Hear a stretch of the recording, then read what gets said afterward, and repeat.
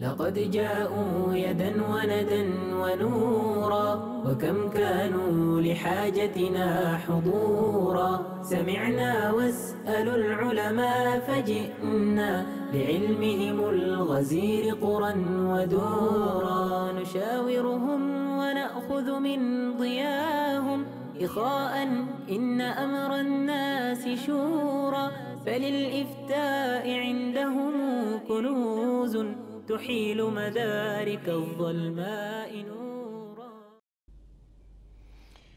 بسم الله الرحمن الرحيم. الحمد لله رب العالمين والعاقبة للمتقين والصلاة والسلام على أشرف المرسلين محمد بن عبد الله وعلى آله وأصحابه ومن تمسك بهديهم وسار على طريقهم إلى يوم الدين. ثم أما بعد. فالسلام عليكم أيها المشاهدون الكرام والمشاهدات الكريمات. في حلقة جديدة من برنامجكم مع دار الإفتاء.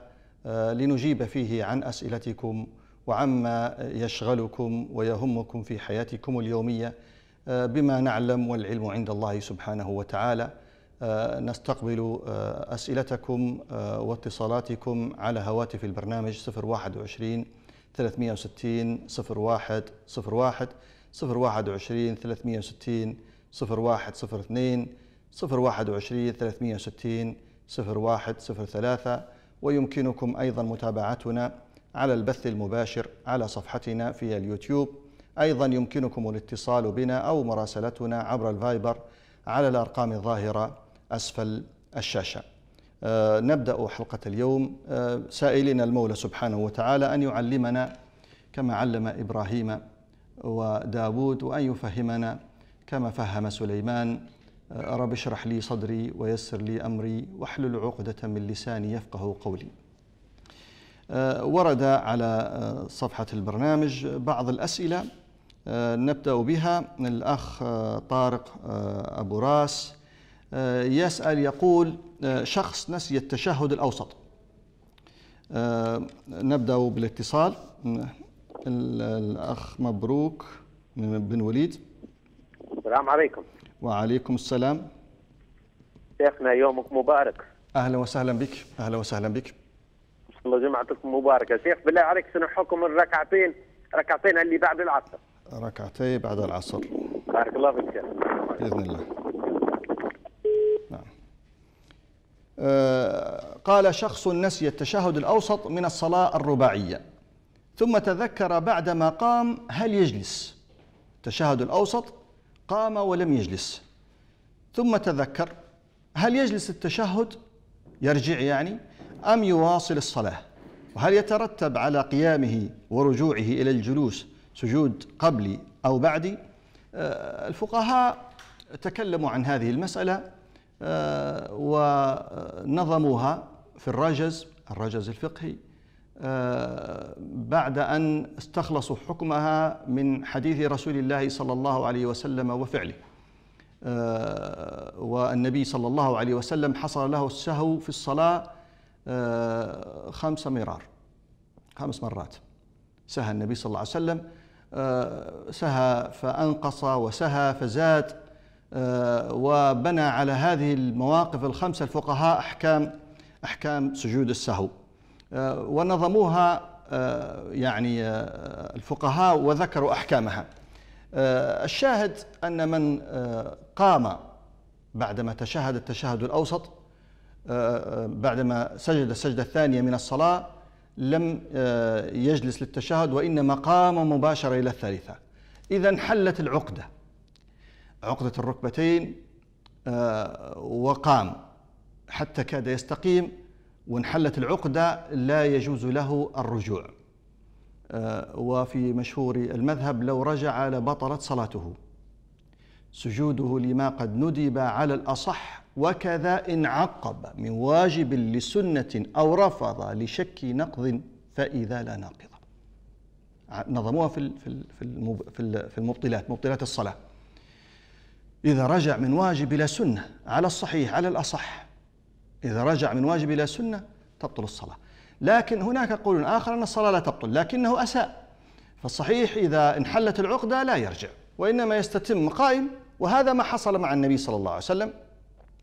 آه، فسبح للناس وأشار إليهم أن قوموا. قام النبي حديث عبد الله بن بحينة صحيح البخاري أشار إلى الناس أن قوموا فقاموا. لما سبح له الناس فقاموا. الحديث صحيح البخاري وفي غيره. ثم قضى الصلاة وقبل أن آه، يسلم من الصلاة سجد سجدتين للسهو سجود قبلي لأنه أنقص لأنه أنقص ولم يترتب على هذا النقص زيادة. لكن لو قام واستتم قائما ثم رجع على قول من لا يبطل الصلاة في هذه اللحظة وتشهد وقا وأكمل الصلاة عليه سجود بعدي لأنه قد نتج عن هذا هذا السهو وهذا العمل الذي عمله زيادة في الصلاة يترتب عليها سجود بعدي. آه، معنا اتصال. ابن ليبيا. أهلا. أهلا وسهلا. السلام عليكم. وعليكم السلام ورحمة الله. مرحبا شيخنا. أهلا وسهلا بك مرحبتين. تحياتي للمشايخ العلماء والسي على رأس الجغرياني الله يكرمك. الله وكل المشايخ اللي في ال- الله يكرمك. وكل مشايخ ليبيا بدون تخصيص يعني. ربي يسلمك. وأهل السنة وأهل الشريعة. أهلا وسهلا بك. أهلا وسهلا بك. أنا عندي مداخلة بس نبي نتكلم. نبي رسالتي توصل للسيد بيضة نبي رسالتي توصل أرجو أرجو أرجو أن نقتصر على السؤال. لا لا ما في شيء. نقتصر على السؤال. سؤال هو. الله يسلمك. هو هو زمان واخدين- هو لو, واخدين- هو لو عندك سؤال لو عندك سؤال تفضل الله يسلمك. هذه الحلقة هذه الحلقة سؤال بارك الله بك آه، لا لا أمر عادي. هو بيش لا للإجابة الدين يا على. الأسئلة. احترم تخصص الصفحة. الله يبارك فيك. والله محترمك وأنا لا لا أستاذي اسمعني. أنا والله لا في الشريعة وفي الدين. زمان واخدين قروض أنا بنرسل بس زمان واخدين قروض ربوية. تفضل بالسؤال تفضل بالسؤال. واخدين واخدين قروض ربوية. مم. زمان واخدين قروض ربوية. اللي هي 40000 سكن. مم. ونبي نصل لاي حد ما فيه مداخلة إنه هو يرفع علينا ال- ال- البلاء والوعد على الأقل يفكنا من إيه. آه، الربا. طيب. طيب وصلت الرسالة بس وصلت. هذا هذا السؤال يعني هذا السؤال. يفكنا من الربا لعل يرفع عنا البلاء والوباء نتكلم- والدنيا كلها. نتكلم. عن هذا نتكلم عن هذا بإذن الله. آه، الاخ الأخ سالم من العزيزية. انقطع الاتصال. السؤال الثاني الذي جاء على الصفحة آه، آه، النفقه للزوج. النفقه على الزوج. هي باللام لكن هي على الزوج في مذهبنا. بعد البناء هذا في مذهب الإمام مالك. هذا السائل يقول آه، ماذا في المذاهب الأخرى؟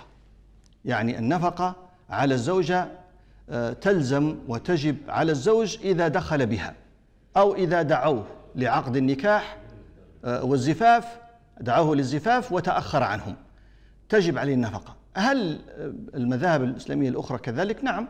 مذهب الحنابلة منصوص عندهم والشافعية آه، والمالكية وأكثر العلماء على أن النفقة لا تجب على الزوج إلا إذا دخل بزوجته لأن لا يصح في عقد الزواج عوضين يعني العوض الأول أن يعطي المهر وهذا يصح به العقد ويتم به العقد آه، وثم ينفق والنفقة مجهولة وهي ما زالت عند أهلها. النفقة مقابل الاستمتاع آه، والدخول فإذا لم يكن هناك من دخول آه، فليس هناك من نفقة. وكذلك ال- ال- المرأة الناشز إذا نشزت ورفضت طاعة زوجها وخرجت من بيتها من بيت زوجها دون إذنه آه، وهي المخطئة فلا نفقة لها لا تجب عليه النفقة. نعم. الأخ سليم المصراتة السلام عليكم ورحمة الله. وعليكم السلام ورحمة الله وبركاته. بارك الله فيك شيخ. أهلا- وسهلا. أهلا وسهلا بك أخي سليم. عندي ثلاث أسئلة لو سمحت تفضل. حضرتك الله عز وجل نبدأ بالسؤال الأول نعم. قال رسول الله صلى الله عليه وسلم من صلى صلاة الفجر في المسجد فهو في ذمة الله. هل يشمل ينطبق حتى على النساء وهذا كذلك يشمل الرجال دون الأعذار الذين الذين ليس لديهم لديهم القدرة على الجهاد في المسجد. نعم. عندك سؤال ثاني؟ الثاني ثلاث أسئلة يا شيخ. أها. السؤال الثاني مم. بعد أن أحيل إلى التقاعد تحصل على كامل مستحقاته من الجهة والمصلحة التي كان يعمل بها المال بلغ النصاب والحول هل يخرج من هذه الأموال زكاة لا؟ أها طيب عندك سؤال ثاني؟ الثالث مهم. السؤال الثالث امرأة تبرعت بمبلغ من المال كصدقة لبناء وتشييد مسجد دون إشراك أحد معها ولم يعلم تبرعها هذا حتى أقرب الأقارب لها ما ظلت إلا بعد إتمام البناء وتجهيز المسجد هل فعل هذا صحيح؟ وهل ينقص من أجل أم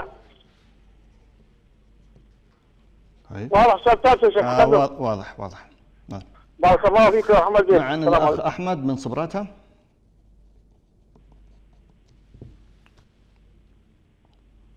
آه، تفضل أخ أحمد.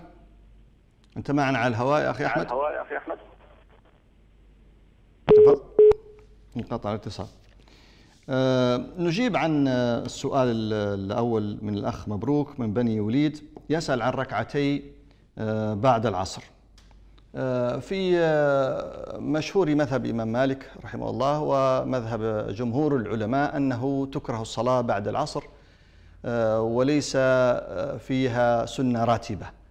وما جاء عن النبي صلى الله عليه وسلم أنه صلى ركعتين بعد العصر عندما دخل على إحدى أزواجه آه، ففيه بيان أنه لم يكن ذلك من عادته صلى الله عليه وسلم فقد دخل وصلى ركعتين فسألته آه، عنهما وقالت لم أرك تصليهما قال هاتين آه، هاتان الركعتان بعد الظهر شغلني عنها وفد بني فلان آه، فركعتهما الآن. آه، ومن هذا أخذ جمهور العلماء أنه لا يصلى الراتبة بعد العصر. آه، نعم يصلى قبل العصر ولكن بعد العصر فليس هناك من راتبة فالصلاة مكروهة خصوصا إذا اصفرت الشمس.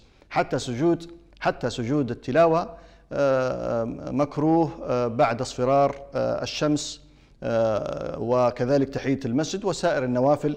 لأنه ثبت في موطأ الإمام مالك وعنه أخرجه أصحاب الكتب الستة آه، عن عبد الله بن عمر رضي الله تعالى عنه أن النبي صلى الله عليه وسلم نهى عن الصلاة بعد العصر حتى تغرب الشمس. نهى عن الصلاة بعد العصر حتى تغرب الشمس. آه، معنا اتصال من الأخ عبد الله. السلام عليكم. وعليكم السلام ورحمة الله. شيخ الحالة؟ أهلا وسهلا بك. بالله يا شيخ عندي أسئلة؟ عندك ماذا؟ عندي أسئلة بيك جاوبت عليهم. تفضل تفضل. بالله يا شيخ شو الحكم في ال- الأغاني الدينية وبتاعي صرتوها حكم ماذا؟ الأغاني الدينية. دينية. إيه. ما ويا شيخ قبل فاتيني أعطيني فتوى أن الاستثناء في الامتحان. إنه حرام. آه، فت- فتوى في ماذا؟ إن الاستثناء يعني نسمي الواحد في الامتحان حرام الغش. إيه. إيه. مثلا باش ما واحد ما يكلمنيش مثلا في الامتحان نقول له ما قريتش. عادي. واحد آه، آه، وضح سؤال أعد السؤال. لو قصدي واحد بيقول لي قريت والله لا. كان آه. قلت له قريت بيقول لي سميه مثلا. كان آه. قلت له ما قريتش عادي. هذا في أثناء الامتحان. قبل الامتحان كان قلت له قريت إيه. نجاوب يقول لي فهمت يا شيخ. فهمتك فهمتك. عندك سؤال بارك الله آخر؟ فيك. بارك الله فيك. طيب. آه، معنا الأخ جاسم. السلام عليكم. وعليكم السلام ورحمة الله. الله يحفظك شيخ. أهلا وسهلا بك. آه، شيخ عندي سؤال لكن طويل شوية لكن حاول إني نختصر. آه، نعم. اختصر آه، اختصر. شيخ إيه أنا أنا ما تزوجت مرأة لكن بعد فترة اتضح ان المرأة هذه لا تنجب ما تجيبش ولاد يعني مع الكلام دكاتره حاولنا علاج يعني صرفنا كثير من الاموال في العلاج. لكن الدكتور ما ما قالها لي صريحه ما تنجب. لكن قال لي اصبروا والأمر يجي عملي قصدي صرف في فلوس أكثر ما أنا معك نقدر مش هذا السؤال. السؤال إن هنا المرأة نبي. معاش قصدي ما نقدر ناخذ مرة ثانية ويقعد الزوج على اصلتي ونبي نطلقها السؤال الأول هل أنا آثم أو لا؟ السؤال الثاني إن المرأة هذه أهلها كانوا يعلموا إن هي ما تجيهاش الدورة يعني يا شيخ. الدورة ما تجيهاش وهم يعلموا وما صرحوا لي بالشيء هذا ويعرفوا إن هذا يعني يعتبر عيب إحنا عندنا في المرأة إذا كان ما تجيهاش الدورة يعتبر عيب. الأمر الثالث أنني لو لو شرعت تو الآن شرعت اني ندور في مرأة ثانية ونقول لهم اني أنا كنت متزوج ومرتي ما جابتش أولاد يسألوني باهي كان أنا يقول أنا تو أنا البنت عرفتها لك وما جابتش أولاد هل بطلقها؟ إيش يشرطوا علي بعض الشروط؟ عرفت يا شيخ؟ يكون السؤال واضح يا شيخ. إيه. يعني لنا ثلاث ثلاث أسئلة. فهمتك. الأول هل هل أنا اثم في التسريح أو لا؟ فهمتك فهمتك وسأجيبك بإذن الله تعالى. بارك الله فيك يا شيخ. نعم. الأخ محمد من طرابلس. السلام عليكم كيف حالك يا شيخ؟ عليكم السلام ورحمة الله وبركاته. كيف الصحة الله يبارك فيك. أهلا وسهلا بك. أهلا وسهلا بك. والله يا شيخ أنا عندي سؤالين. الأول مختص بقصة ال- التأمين التأمين الصحي اللي تو دارت الدولة للمتقاعدين. يعني الناس اللي هم كبار السن المتقاعدين هذا معي. والسؤال الثاني حتى هو في نفس الموضوع. أنا معلم وجابوا لنا نماذج بقصة التأمين الصحي وناس يقول حلال وناس يقول حرام وأنا توقفت ما باش ندير أي خطوة قلنا نسأل ونفهموا قبل ومن إيه وبالنسبة للسؤال الأول يعني آه، يا ريت توضح لنا الوالد, الوالد يسمع فيك. ويا ريت نبغى توضيح حكي معنا تفصيل في الموضوع. باش الله. نمشي قدام ونوقف إن بإذن الله. بإذن الله تعالى. ربي يحفظك ويطول عمرك شكرا. آمين يا رب وإياكم وإياكم وإياكم نعم. آه، بالنسبة لي الأخ ابن ليبيا يريد رسالة أن تصل للمسؤولين. عن القروض الربوية. يعني الناس في زمن مضى ويعني لم يجدوا قدرة على بناء البيوت الخاصة بهم. المرتبات ضعيفة جدا واضطر كثير من الناس إلى أخذ القرض وكانت على القروض فوائد ربوية آه، يعني آه، وبدأوا في البناء وتموا البناء. وهم الآن يعني يريدون آه، عونا من الدولة في رفع هذه الفوائد الربوية عن الناس. يعني خصوصا من آه، من آه، يعني است- استمر عليه القرض ولا زال إلى الآن الخصم مستمر ولم ولم يتم اكتمال آه، دفع ال- ال- الباقي المترتب عليه من هذا القرض. آه، نعم العون عون المسلم ورفع ال- ال- الشروط الربوية هذا مطلوب آه، ونحن ندعو آه، الدولة آه، بقدرتها آه، على رفع هذه الفوائد الربوية وإرجاع العقود إلى الأصل المباح حتى يرتفع الإثم عن الجميع. ومعروف أن الربا آه، ماحق للبركة. يمحق الله الربا ويربي الصدقات. هذا نص القرآن الكريم. والله سبحانه وتعالى يقول آه، يا أيها الذين آمنوا اتقوا الله وذروا ما بقي من الربا إن كنتم مؤمنين. آه، فإن لم تفعلوا فأذنوا بحرب من الله ورسوله. وإن تبتم فلكم رؤوس أموالكم. يعني اللي أعطيتوه للناس هذا خذوه والزائد عليه ارفعوه عنهم حتى يبارك الله عز وجل في الأرزاق. معنا اتصال؟ الأخ علي من جدابيه الأخ علي من جدابيه تفضل. عليكم. السلام. تفضل أخي علي. السلام عليكم. واستمع إلي من من التلفاز. السلام عليكم. من الهاتف. تفضل. السلام عليكم. وعليكم السلام. السلام عليكم. أسمعك. السلام عليكم. وعليكم السلام أسمعك. هناك مشكلة في الاتصال مع الأخ علي من جدابيه الأخ عبد الحكيم من ورشفانة. ألو السلام عليكم. وعليكم السلام. أهلا وسهلا مرحبتين بنسألك الشيخ بعد إذنك أنا نبي نحكم إنسان يفوت عليك يوميا لمدة سنة يمشي للجامعة ما يطلقش السلام عليكم. إيه نجيبك بإذن الله. نجيب عن هذا. نعم. آه الأخ سليم من مصراتة سأل عن ثلاثة أسئلة. السؤال الأول من صلى في المسجد فهو في ذمة الله. هذا الحديث في صحيح الإمام مسلم وفي غيره من كتب السنة أن النبي صلى الله عليه وسلم حث الناس على شهود الصلاة صلاة الصبح فقال من صلى الصبح في جماعة. في رواية ليس فيها جماعة من صلى الصبح فهو في ذمة الله. فلا يطلبنكم أحد بشيء من ذمته فمن يطلبه يدركه ثم يكبه في نار جهنم. السائل يسأل الأخ سليم بن مصراتة هل هذا آه، يعني خاص بمن شهد الجماعة؟ ذكرت أن هناك رواية ليس فيها ذكر الجماعة. وحصل الاختلاف بين الفقهاء في هذه المسألة. هل آه، المطلوب أن يصلي الإنسان الصبح في وقته حتى يكون في حماية الله سواء كان في المسجد أو كان في البيت أو في أثناء سفره أو أن هذا مشروط مشروط بالمسجد فقط؟ أو أن هذا مشروطا بالمسجد آه، مشروط بالمسجد فقط. آه، وبعض الروايات جاءت في جاء فيها ذكر المسجد آه، فقصروا آه، بعض الفقهاء قصر هذا على المسجد. من شهد الجماعة في المساجد. آه، ويلحق بهم من كان معتادا على المساجد لكن منعه مرض أو سفر أو كبر. آه، لحديث النبي صلى الله عليه وسلم الآخر الذي يقول فيه من سافر أو مرض كتب عمله كأنه صحيح مقيم. كتب العمل كأنه في صحته الوافرة أتى به وكأنه مقيم لم يسافر. ولذلك من سافر ولم يصلي النوافل يكتب في صحيفته أنه صلاها. إذا كان سفره طاعة. ومن مرض وكان معتادا على عمل من الطاعات ومنعه المرض من الاتيان بهذا العمل يكتب في صحيفته أنه قد عمله. وهذا من رحمة الله سبحانه وتعالى بأمة محمد صلى الله عليه وسلم. يسأل أيضا يقول عن رجل يعني عمل في الدولة ووصل إلى سن التقاعد ثم بعد التقاعد تحصل على مستحقاته والمال موجود وحال عليه الحول. فهل عليه زكاة؟ نعم عليه زكاة. كل مال وجد في بيتك في الخزنة في السيارة في المصرف حال عليه الحول نامي أو غير نامي وجبت فيه الزكاة. زكي إذا مر على النصاب حول وأنت مالك الرقاب. هذه الشروط.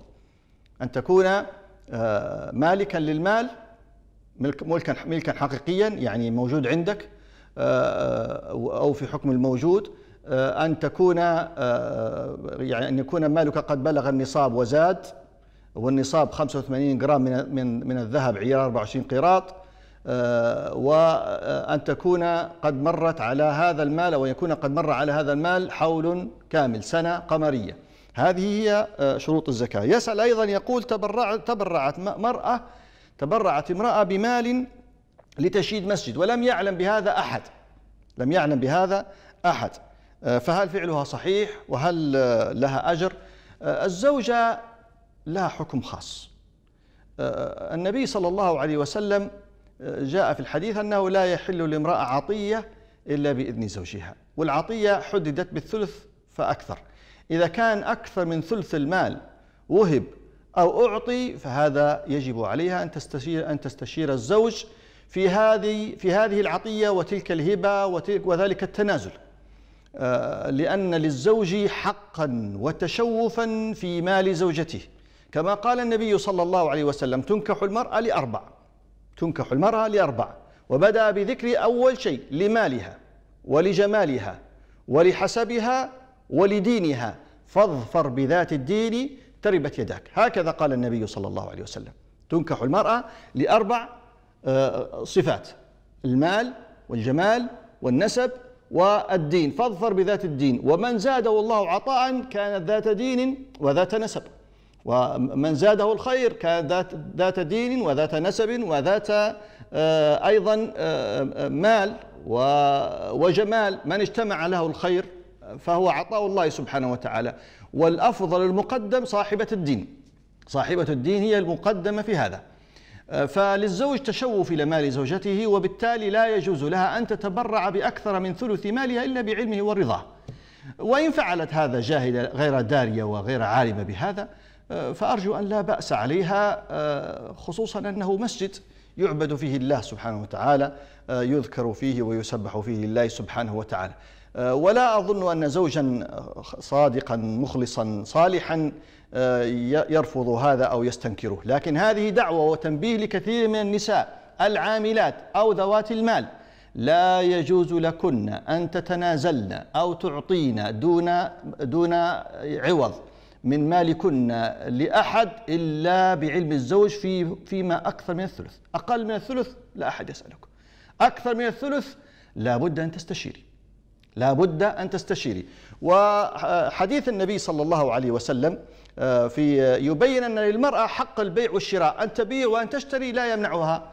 آه، يعني الزوج ولا وليس له وليس له عليها حق الاستشارة. فعائشة رضي الله تعالى عنها جاءتها بريرة وطلبت منها أن تعينها على كتابة أو مكاتبة آه، أهلها آه، بثمان أواق. ثمان وقاية ذهب ثمان أواق. فعقدت معها الصفقة واتفقت دون أن تستشير النبي صلى الله عليه وسلم. وأختم قبل الفاصل بدعوة طلاب العلم إلى دراسة حديث بريرة فإن الفوائد فيه تترى وكثيرة حتى في العلاقات الدولية. والله تعالى أعلم. آه، وإلى فاصل ونواصل بإذن الله تعالى. لقد جاءوا يدا وندا ونورا وكم كانوا لحاجتنا حضورا. سمعنا واسألوا العلماء فجئنا لعلمهم الغزير قرا ودورا. نشاورهم ونأخذ من ضياهم إخاء إن أمر الناس شورى فللإفتاء عندهم كنوز تحيل مدارك الظلماء نورا. جاءوا يدا وندا ونورا وكم كانوا لحاجتنا حضورا. سمعنا واسألوا العلماء فجئنا لعلمهم الغزير قرا ودورا. نشاورهم ونأخذ من ضياهم إخاء إن أمر الناس شورى فللإفتاء عندهم كنوز تحيل مدارك الظلماء بسم الله الرحمن الرحيم. ها قد عدنا والعود أحمد آه، إلى أسئلة الأخ أحمد من آه، صبراتا. يسأل عن حكم الأغاني الدينية. الغناء آه، في لغة العرب إذا قيل الغناء آه، لا يتبادر إلى الذهن الغناء المعروف الآن المصاحب بالمعازف وإنما الصوت الجميل. آه، فإذا قر- قرأت في الكتب الغناء اعلم كتب الفقه اعلم أن المراد هو ال- الصوت الجميل آه، فقط. هذا هو الغناء. ويتغنى بالقرآن يعني يحسن الصوت بقراءة القرآن. ما أذن الله لنبي ما أذن لرجل يتغنى بالقرآن. يعني يحسن الصوت زينوا القرآن بأصواتكم حسنوا القرآن بأصواتكم. هذه أحاديث عن النبي صلى الله عليه وسلم. فالغناء اللي هو الصوت الجميل هذا حلال حلال وحرام حرام كسائر الكلام. ما كان فيه من كلام لا يدعو إلى خنا ولا إلى رذيلة فلا بأس به. وإذا كان يدعو إلى خنا أو رذيلة أو هجو أو شتم أو سب فهذا لا يجوز. نكمل الإجابة عن السؤال بعد أخذ اتصال. الأخ الأخ فرج من طرابلس. أهلا يا شيخ. أهلا وسهلا بك. نهارك مبارك إن شاء الله. الله يسلمك ويبارك فيك. والله يا شيخ عندي سؤالين واحد في العبادات واحد في الورثة. تفضل. والله يا شيخ إحنا عندنا ورثة مسيبتها الوالدة إن شاء الله هيك منزل. وفيه ورثة لكن أخويا قاعد في الحوش هذا ما عرفنا كيف نديروا معاه. يعني لا يبي يسكن لا يبي يشري وخصوصا إنه هو تو مريض. وعليه اثم في هذا وننصحه في اولاده وننصحه كذا وعنده اخوت إن هم يعني مستحقين وقاعدين في جار وننصحوا فيه وتو 48 سنة الوالدة متوفية يعني. عرفنا كيف نديروا معاه. بإذن الله وأنا وجيبك. ناوي لهم الإصلاح يعني. أنا اخوهم صغير ناوي لهم الإصلاح انه على أساس يبيعوا الحوش ويقسموا. وشرطنا قلنا له على الأقل ناخذوا لك أنت حوش أنت الأول وتسكن فيه. والباقي نقسمه ما بيناتنا اللي بيطلع لنا يطلع لنا. فمسكرين رؤوسهم صراحة. هذا السؤال الأول شيخ. آه، السؤال الثاني؟ والسؤال الثاني في العبادات صلاة الفجر الساعة 4 ونص إن شاء الله نوضوا نتوضوا ونصلوا في ركعتين لله ونسبحوا بعد نصلوا في الصبح. هل أدركنا صلاة الفجر هيك يعني؟ أجيبك بإذن الله. شكرا بارك الله فيك. أجمعين. معنا عبد الحميد. عبد الحميد من الجواب عليكم. وعليكم السلام ورحمة الله وبركاته. آه تحية لك يا أخي. الله يسلمك أهلا وسهلا بك. آه نحن في نحن في سؤال مش غير الناس سمعت حتى من كم واحد آه. ولكن أخي الفاضل آه، ما سمعناش منكم الرد. آه صراحة لأن مرة أنا رأسنا بنو إحنا قد اجرمنا في حق أنفسنا. آه برغم هذه الكثافة من الأئمة والشيوخ والفقهاء. آه سؤالنا هل هل اللي ماتوا من قصف الناس وحلف الناس هل هم شهداء أو لا؟ ويجب الإجابة بكل شجاعة. حياتي لك. آه، أعد أعد وضح السؤال معلش. طيب. معنا محمد من طرابلس. محمد من طرابلس. آه، من أحمد من صبراتات تفضل يا أخ أحمد. أيوه السلام عليكم يا شيخ. وعليكم السلام. نبي نسأل على التوكيل في الرجم يا شيخ. عن؟ التوكيل التوكيل في في الرجم التوكيل في الرجم. يعني عليه هدي ولا آه، قصة والله. أنا طالب علي مدة يعني حوالي 45 سنة. أجيبك أجيبك بإذن الله. مش عارف كيف نعمل تو والله. أجيبك بإذن الله. محمد من مصراتة. أيوه. ألو السلام عليكم. وعليكم السلام. الآن عندي آه، سؤال. صلاة الفجر. أصلا هي مش صلاة الفجر هي رغيبة الفجر. لماذا لا نقول صلاة الصبح أذان الصبح؟ لماذا نقول صلاة الفجر أذان الفجر؟ علما ب علما بأن هي الصلاة صلاة الصبح. أجيبك بإذن الله. آه، بارك الله فيك. طيب ما زلنا في سؤال عن الأغاني الدينية. الأغاني الدينية المقصود آه، منها هو حسن الصوت. أما إذا صحبها المعازف إذا صحب هذه الأغنيات ال- تحسين الصوت وصحبهم معازف فجمهور العلماء جمهور العلماء على أن المعازف محرمة ولم يبيحوا من هذا إلا الدف ويلحق بها الدربوكة. وما شابه هذا فهو داخل في دائرة الجواز عند جماهير أهل العلم. المحرم هو المعازف المعازف. آه، فهذا مذهب جمهور العلماء. وذهب بعض أهل العلم إلى المعازف أو الموسيقى أنها ليست حراما إلا إذا كانت على مجلس خنا أو شرب خمر أو معاصي وآثام. والغناء بهذه الصورة التي نراه في هذه الأيام ليس هناك من عاقل بل عالم يقول بحله وجوازه فهو حرام. النساء اللاتي يرقصن وما يسمى بالفيديو كليب وما وما لحق به فهذا كله حرام. عرض للمفاتن والمساوئ وكلام يدعو الخ- الخنا والفحش ولا يقول بجواز أحد.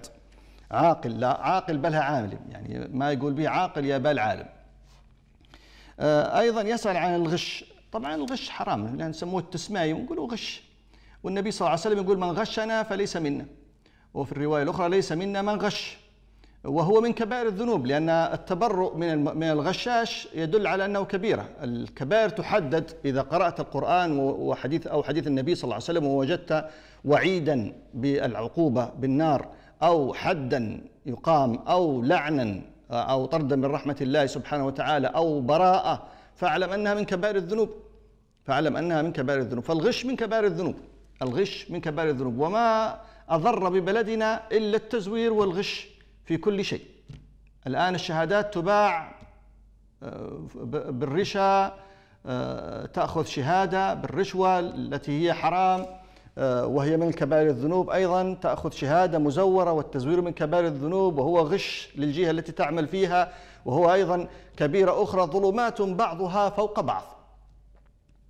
إذا أخرج يده لم يكد يراها يعني أش- أشياء محرمة. آه، وهي ضياع للمجتمع. ضياع للمجتمع والأمة. آه، لا تكذب عليه قريت قريت. بقى يسميني مش مسميك الغش حرام. هذه موعظة له ونصيحة ويستفيد منها. فلا تداري في دينك ولا تكذب وتأخذ إثما بسبب آه، آه، يعني إنسان يريد منك أن تعينه على الغش. الأخ جاسم يقول تزوجت ثم اتضح أنها لا تنجب.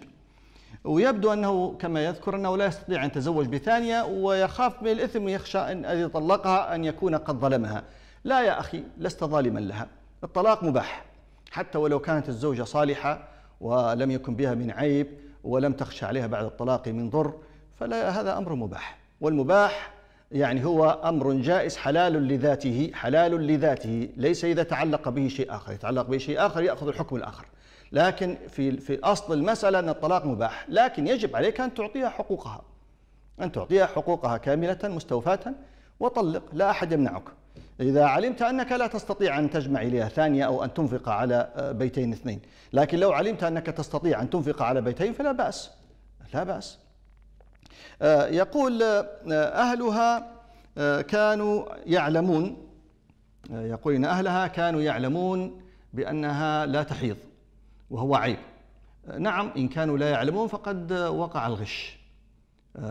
ولكن في كل حال أنت الآن جلست معها وبقيت وانت- وانتهى حتى المدة آه، وكونها تحيض أو لا تحيض آه، يعني كثير من العلماء ومذهب الإمام مالك والشافعي وغيرها لا يعد من العيوب التي بها حق الرد. لكن من أهل العلم من جعل كل عيب يمنع المودة وال- وال- والسكن في في بيت الزوجية إذا تم به الغش فهو من ال- ال- العيوب التي بها حق الرد. آه، وكون المرأة لا تحيض كون المرأة لا تحيض ومعلوم أن المرأة التي لا تحيض لا تحمل آه، عيب كبير وكان عليهم أن ينبهوك. لكن الآن حصل الأمر وأنت لم تتكلم سكت عن هذا ولم تتكلم ومضت السنين فليس لك إلا أن تطلقها آه، ولا إثم عليك إن أردت أن تطلقها. الأخ آه، محمد من طرابلس يسأل عن التأمين الصحي للمتقاعدين ويسأل عن التأمين الصحي أيضا للموظفين. التأمين حصل خلاف بين الفقهاء في هذه المسألة والخلاف كبير.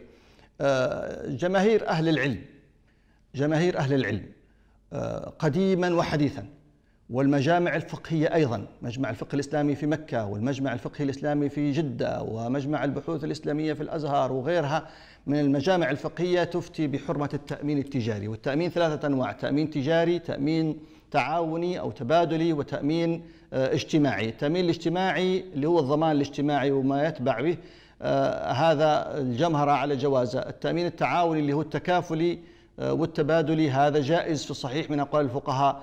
أما التأمين التجاري فهو حرام عند جماهير أهل العلم. بعض أهل العلم ذهب إلى حله وهذا هو سبب الخلاف التي الذي أنت يعني بعض يقولوا حلال وبعض يقولوا حرام. لعله ناشئ عن عن معرفة هذه المسألة. لكن جمهور أهل العلم على تحريمه ودار الإفتاء الليبية تفتي بتحريم التأمين التجاري.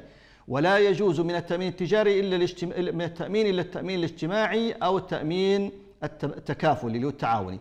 فاسأل عن التأمين الذي جاء في في الموظفين. هل هو تأمين تكافلي أم لا؟ وعادة يكتبون والحمد لله يعني بدأت شركات التأمين تفتح نوافذ تجارية. آه، تكافلية نوافذ تكافلية للتأمين التكافلي وهذا حلال آه، وليس فيه من بأس لأنه قائم على التبرع وليس قائم على التربح. أما بالنسبة للتأمين الصحي للمتقاعدين آه، فالذي يقرب للفهم وللذهن أنه تابع للضمان الاجتماعي وبالتالي ليس فيه من بأس والله تعالى أعلم. الأخ علي بن جدابية آه، انقطع الاتصال به آه، والأخ عبد الحكيم من ورشفانة يسأل عن حكم رجل سنة كاملة يمر بجانبه يذهب إلى المسجد ولا يلقي السلام عليه. هذا الرجل أساء إلى نفسه وأساء إلى الإسلام وإلى أخلاق المسلمين. يعني تمر على أخيك المسلم آه، فينبغي أن أن تلقي السلام. آه، جمهور العلماء على أن إلقاء السلام سنة وليس واجبا. والواجب هو الرد. إذا ألقى عليك السلام يجب عليك أن ترد. أما أن تلقي السلام فهو مسنون. لكن إذا علم أن عدم إلقاء السلام آه، يدخل الضغينة والشحناء والتباعد والتدابر فهذا ليس من أخلاق المسلم. كان عليا يسلم عليك ولك أن تنبهه بطريق أو بأخرى إلى أهمية السلام آه، في الإسلام. وقد كان أول ما دعا النبي صلى الله عليه وسلم آه، أهل المدينة عندما دخل عليهم كان ما زال في الطريق لم يصل بعد بناقته القصواء إلى الموضع الذي آه، بنى فيه مسجده. دخل النبي صلى الله عليه وسلم والمنادي يسبقه يقول يا أيها الناس أطعموا الطعام وأفشوا السلام وصلوا بالليل والناس نيام تدخلوا جنة ربكم بسلام. هذه كلمات النبي صلى الله عليه وسلم الأولى عندما دخل المدينة. يا أيها الناس أفشوا السلام وأطعموا الطعام وصلوا بالليل والناس نيام تدخلوا جنة ربكم بسلام. دعوة آه، محبة دعوة تعاطف تكاتف دخل بها النبي صلى الله عليه وسلم إلى المدينة. هذه دعوة النبي صلى الله عليه وسلم. آه، الأخ آه، من الأخ من صبراتة محمد من محمد من مصراتة يسأل لماذا لا نقول صلاة الصبح وقبلها هي رغيبة الفجر. لا هي صلاة صلاة الفجر وصلاة الصبح اسمان لصلاة واحدة. الفقهاء وجاء في الأحاديث صلاة الصبح وصلاة الفجر. التي يصليها الناس قبل صلاة الفجر اسمها رغيبة الفجر. يعني الإنسان إذا استيقظ من نومه وتوضأ يصلي في أربع ركعات ركعتين بتشهد سلام وركعتين بتشهد سلام. الركعتين الأوليين بتشهد آه، بتشهد وسلام هذه اسمها رغيبة الفجر سنة الفجر راتبة الفجر ليست الفجر. الفجر هي نفسها صلاة الصبح التي يصليها الناس جماعة في المسجد صلاة جهرية يصليها الناس جماعة في المسجد أو تصلى بعد رغيبة الفجر صلاة الصبح. وصلاة الصبح لها اسم ثاني وهو صلاة الفجر التي قبلها اسمها رغيبة الفجر. الأخ آه، عبد الحكيم من وشفانة آه، الأخ فرج من طرابلس يسأل عن ميراث الأم. الأم ميتة لها 48 سنة والولد في البيت حجر عثرة. لا هو اللي اشترى حصة أخوته الورثة ولا هو اللي خلاهم يبيعوا حتى ياخذوا مالهم وحقوقهم آه، التي المترتبة والتي فرضها الله عز وجل لهم في كتابه الكريم في سورة النساء. هذا لا يجوز. يجب على الإنسان أن يخلص نفسه في الدنيا قبل الآخرة. آه، عليك دين سدد الدين. عليك حقوق أوفي بالحقوق. لك واجبات لك أن آه، عليك واجبات لك أن عليك أن تقوم بها. لك حقوق طالب بها أو أعفو هذا أمر يرجع إليك. أما الواجبات فلا بد من الوفاء بها. يجب على هذا الأخ أن يشتري أو أن يبي يسمح لهم البيع أو أن يطلب منهم السماح. فإذا رضوا بها ونعمت وإذا لم يرضوا ليس له إلا أن يرضخ. إما أن يشتري البيت وإما أن يسمح لهم بالبيع. فالموت حق آه، ولا يليق به ولا يجوز له أن يمنعهم مالهم ونصيبهم حتى يوفيهم الموت. آه، أيضا يسأل سؤال ثاني آه، عن صلاة الفجر. هو نفس السؤال تقريبا يعني يستيقظ في الصباح بعد بعد الأذان يستيقظ ويتوضأ ويصلي ركعتين اسمها رغيبة الفجر ثم ركعتين اسمها صلاة الصبح. هات هذه الركعات الواجب أن تكون قبل طلوع الشمس. إذا تأخرت في الصلاة عمدا حتى طلعت الشمس وقعت في حرام من المحرمات آه، بل بعض العلماء عده من كبائر الذنوب لأن الصلاة موقوتة بوقت محدد لا يجوز تركها حتى يخرج وقتها. المسلم يصلي حتى ولو كان في حال الحرب. حال الحرب شرعت صلاة الخوف. فكيف إذا لم تكن في حال حرب وكنت في أمن وأمان وفي غاية الراحة تترك الصلاة حتى يخرج وقتها؟ هذا لا يجوز وهو من المحرمات. آه، يسأل آه، الأخ عن الأخ عبد الأخ محمد من صبراتة يسأل عن لا أدري. الأخ من من من بن جواد. يا أخي يا أخي لابد أن تنتبه. الحق أحق وأعلى من كل أحد. ولا أحد يريد أن يبيع آه، دنياه بأخرى. كلنا نطلب الآخرة. اسأل سؤالك بأدب ولطف وأبشر بالجواب. لا حاجة لأن تقدم المقدمات ومؤخرات كل لأجل أن تقول قولا ظانا أننا لا نجيبك. نجيبك عن هذا.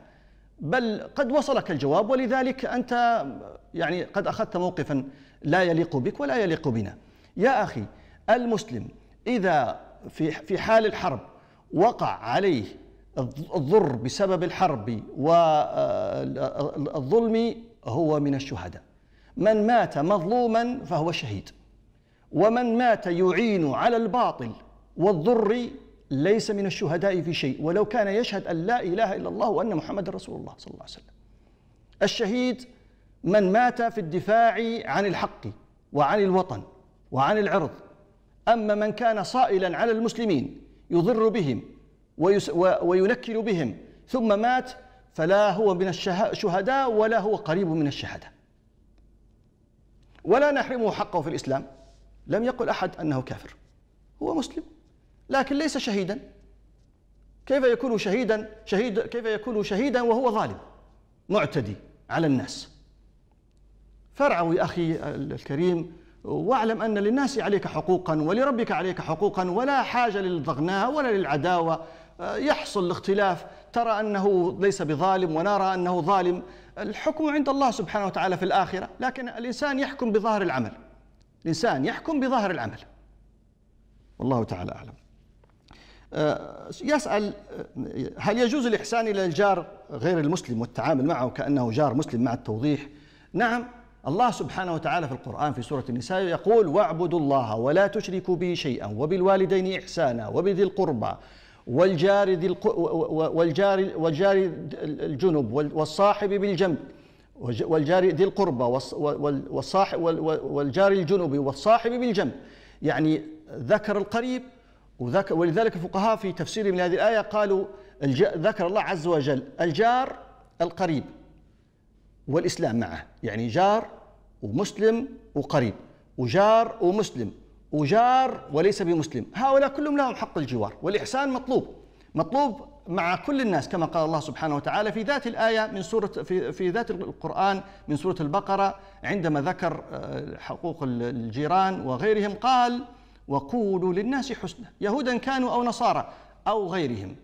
آه، في سؤال تابع له على الصفحة صفحة البرنامج ما مدى صحة قصة الجار اليهودي الذي كان يؤذي النبي صلى الله عليه وسلم ويلقي في طريقه القاذورات والأشواك وبعد فترة اختفى اليهودي ثم سأل عنه النبي فإذا به مريض فعاده النبي فأعلن الإسلام هذه القصة لا أصل لها.